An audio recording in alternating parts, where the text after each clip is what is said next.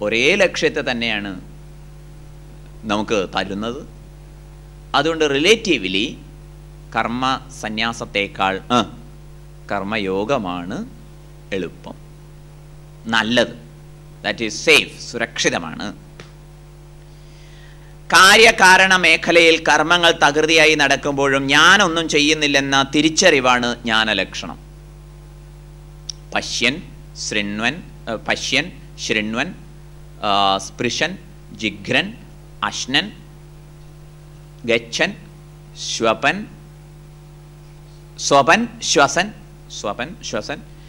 ഇങ്ങനെയൊക്കെ കർമ്മങ്ങൾ നടക്കുമ്പോഴും കാണുന്നു കേൾക്കുന്നു തുടങ്ങി. എല്ലാ കർമ്മങ്ങളും പ്രകൃതിയുടെ മേഖലയിൽ നടക്കുമ്പോഴും നൈവ കിഞ്ചിത് കറോമീതി യുക്തോ മന്യേത തത്വവിത് തത്വവിത്ത് എന്താ വിചാരിക്കുന്നത് I am not doing anything even though my mind body intellect or whatever it may be functions well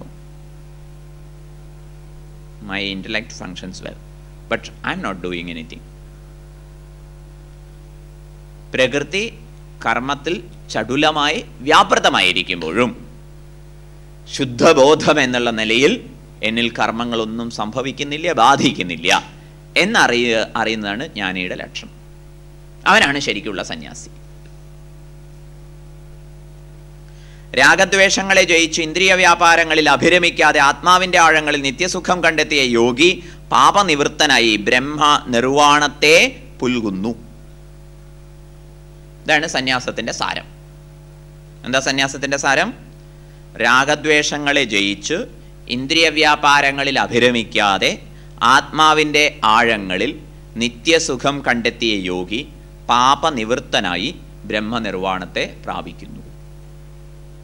വാക്കുകളുടെയൊക്കെ അർത്ഥം വ്യക്തമാവുന്നുണ്ടല്ലോ. കാരണം നമ്മൾ പല സമയങ്ങളിലായിട്ട് അത് വിശദീകരിച്ചതാണ്. രാഗദ്വേഷങ്ങളെ ജയിച്ചു. പിന്നെയോ ഇന്ദ്രിയ വ്യാപാരങ്ങളിൽ അഭിരമിക്കുന്നില്ല. എന്താ കാരണം? യേശു സംസ്പർശജാഭോഗ ദുഃഖയോനയ.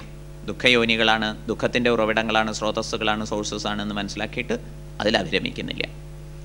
ആത്മാവിന്റെ ആഴങ്ങളിൽ നിത്യസുഖം. അറിവുകൊണ്ടാണ് ആ അഭിരമണം സാധിക്കുന്നത്.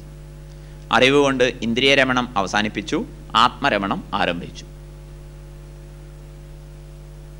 അങ്ങനെയുള്ള യോഗി പാപനിവൃത്തനാവുന്നു. പാപനിവൃത്തൻ എന്ന് പറഞ്ഞാൽ വാസന കാലുഷ്യം കൊണ്ട് അസ്വസ്ഥനാകുന്നില്ല. അതാണ് പാപനിവൃത്തി. ബ്രഹ്മനിർവാണത്തെ പ്രാപിക്കുന്നു. ഇതാണ് സന്യാസത്തിന്റെ സാരം. സർവാത്മന ഭഗവാന് മുന്നിൽ സമർപ്പണം ചെയ്യാമെങ്കിൽ യജ്ഞ തപസ്സുകളുടെ സ്വീകർത്താവായി ഭഗവാൻ നമ്മെ അനുഗ്രഹിക്കും. ഭഗവാൻ അങ്ങനെ ഒരു ഓഫർ നടത്തിയിട്ടുണ്ട്. എന്താ ഓഫർ ഞാൻ പാപം ചെയ്യുന്നില്ല പാപം ചെയ്യിക്കുന്നില്ല പാപം സ്വീകരിക്കുന്നില്ല നാദത്തെ കസ്യജിത് പാപം എന്നൊക്കെ പറയുന്ന ഭഗവാൻ വേറൊരു രൂപത്തിൽ നമ്മളെ സഹായിക്കാൻ തയ്യാറാണ്.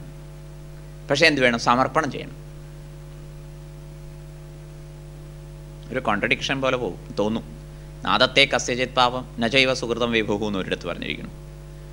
മറ്റൊരിടത്ത് ഭഗവാൻ എന്താ പറയണത് ഭോക്താരം യജ്ഞതപസാം സർവലോകമഹേശ്വരം സുഹൃതം സർവഭൂതാനാം. ജ്ഞാത്വാ മാം ശാന്തി മൃച്ഛതി. ഞാൻ യജ്ഞതപസ്സുകളുടെ മുഴുവൻ ഭോക്താവാണ്. അത് ഭഗവാൻ എടുക്കുന്ന ഒരു സ്റ്റാൻഡ് പോയിന്റാണ് ഭഗവാൻ എടുക്കുന്ന ഒരു സ്റ്റാൻഡ് പോയിന്റാണ്. നിങ്ങൾ സമർപ്പിക്കാൻ തയ്യാറാവുമ്പോൾ ഒരാളുടെയും പാപവും പുണ്യവും സ്വീകരിക്കാത്ത ഒരാൾക്കും കർമ്മവും കർമ്മഫല സംയോഗവും കർത്തൃത്വവും ഒന്നും വിധിക്കാത്ത ഭഗവാൻ നിങ്ങൾ സമർപ്പണം ചെയ്യുമ്പോൾ എന്ത് ചെയ്യും? ഒരിടനിലക്കാരനായി നിന്നുകൊണ്ട് യജ്ഞ തപസ്സുകളുടെയൊക്കെ ഭോക്താവായിട്ട് അതിനെ സ്വീകരിക്കും. വ്യക്തമാവുന്നില്ലേ? നീന്തൽ പഠിക്കാൻ ഉത്സാഹിക്കുന്ന ഒരാൾക്ക് കൈ ഇങ്ങനെ വെച്ച് തരുന്നത് പോലെ. കുറച്ച് കഴിഞ്ഞാൽ കൈ എടുത്താലും നിങ്ങൾ നീന്തുന്ന ഒരവസ്ഥ വരും. അപ്പം അതുപോലെ ഭഗവാൻ ഒരു ഇടനിലക്കാരനായിട്ട് ഇത് സ്വീകരിച്ചോളൂ.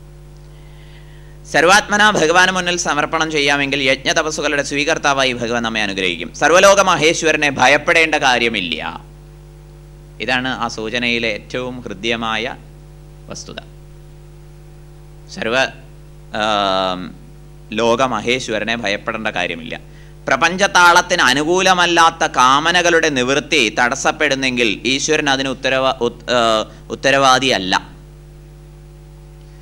നമ്മൾ പ്രപഞ്ചത്തിനൊരു സുസ്ഥിതിയും താളമുണ്ടേ അതിനെ അതിലംഘിച്ചുകൊണ്ട് വല്ലതും കാമിക്കുകയെ വല്ലതും ചെയ്യുകയെ ചെയ്യുകയാണെങ്കിൽ അനുകൂല ഫലം ഉണ്ടാവില്ല. അതിന് ഭഗവാൻ ഉത്തരവാദിയല്ല. അപ്പം അനിഷ്ടം സംഭവിക്കുന്ന സമയത്ത് ഭഗവാനോട് വെറുപ്പ് തോന്നുന്നത് ദാറ്റ് ഈസ് യുവർ ഫാൾട്ട് കാരണം നിങ്ങൾ വികലമായ ഒരു വഴിയിലൂടെയാണ് സഞ്ചരിച്ചത്. പ്രപഞ്ച നിയമങ്ങളെ വിട്ടുവീഴ്ചയില്ലാതെ പരിപാലിക്കുന്ന ഭഗവാന് നിങ്ങളുടെ വികല നയത്തെ സപ്പോർട്ട് ചെയ്യാൻ പറ്റില്ല.